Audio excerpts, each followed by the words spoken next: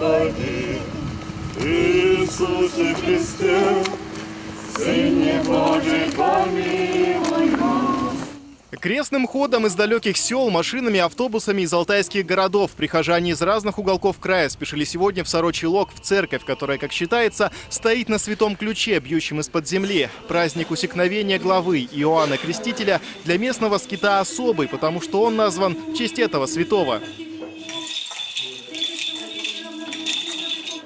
Светлое убранство церкви, гирлянда свечей перед иконами, смиренные взгляды прихожан. Иоанна Крестителя в Сорочьем лагу вспоминали торжественно. Провести утреннюю службу из города приехал алтайский митрополит Сергий. Перед ликом святого, которому в этот день отвели центральное место, он прочел молитвы. Вместе с ним это сделали и остальные прихожане. Кстати, так многолюдно по христианским праздникам в Ските всегда. Особенно почитают это место люди, исповедующие семейные ценности. Приезжают помолиться за себя и детей, приложиться к иконам в миру все равно расходуется наша душевная энергия, угу. а как-то что-то приехать сюда, здесь вот, знаете, как батарейки наши духовные. Да, да. духовно, вот духовно приехали, очень, подзарядились и поехали становится. снова в мир угу. тратить энергию.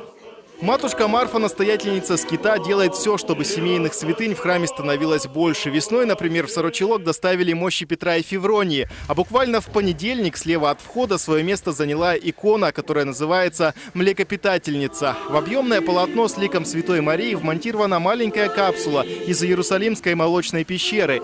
Именно в этой пещере, по преданию, Богородица кормила своего младенца.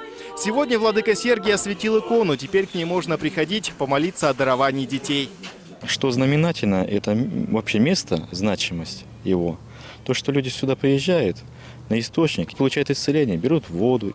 Ну а сегодняшний праздник в Сорочьем лагу по традиции закончился большой трапезой на территории монастыря. За столом верующие наверняка еще не раз вспомнили об Иоанне Крестителе, святом, который и в жизни, и в смерти остается для христиан учителем духовной жизни.